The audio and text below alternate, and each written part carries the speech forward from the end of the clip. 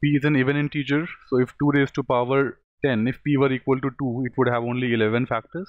However if p were a big even number for example 200 this will have a lot more factors. So various possibilities. Statement 1 is not sufficient. Come to statement 2 a number has exactly 3 factors only when it happens to be square of a prime number.